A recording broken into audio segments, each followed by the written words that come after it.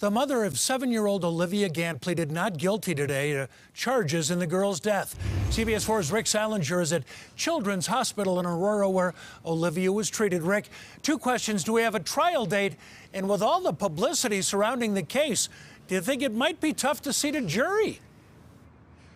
Well, Jim, the trial is now set for May the 3rd, and it's supposed to last about three weeks. It'll be a long one.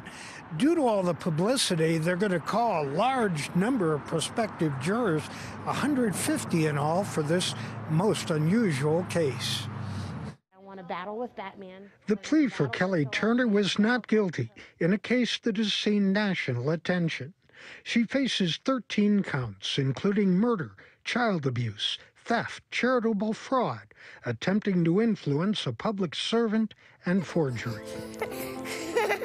Happy birthday to you. The mother is accused of claiming that her daughter had a terminal illness and took part in several fundraising efforts. Another princess is in trouble. It's Belle. That included a party hosted by the Make a Wish Foundation thrown for Olivia. She was able to carry out her dream of playing Bat Princess. This isn't Kelly Turner's first brush with the law. We've obtained her criminal records from Texas.